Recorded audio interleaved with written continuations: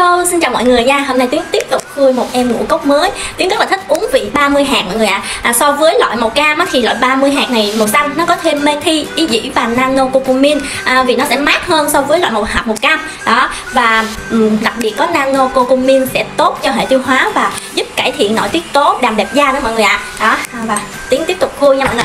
Đây, đây em mới đây là vị 30 hạt nha à, ai cũng có thể dùng được trẻ em từ 2 tuổi người già người bình thường trừ bầu thôi nha mọi người vì nó có à, thêm ý dĩ methi và nano cocomin nên là bầu không dùng được ngoài ra ai cũng dùng được. Đây rất là thơm ngon nó phải có màu vàng của nghệ nano nha.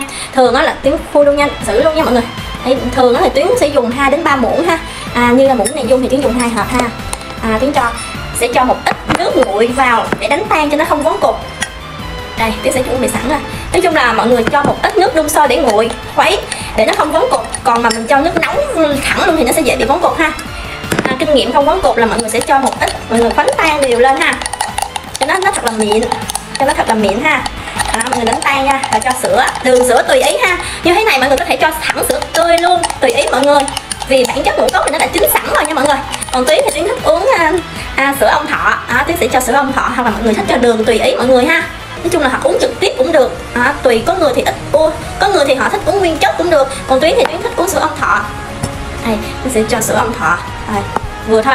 Và tuyến đã chuẩn bị nước nước nóng sẵn rồi mọi người ạ. À. đây. Nói chung là mình pha loãng đặc tùy ý nha.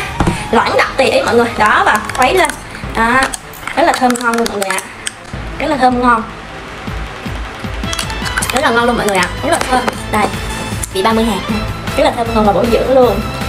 À, chào mọi người nhé tiết thưởng thức này.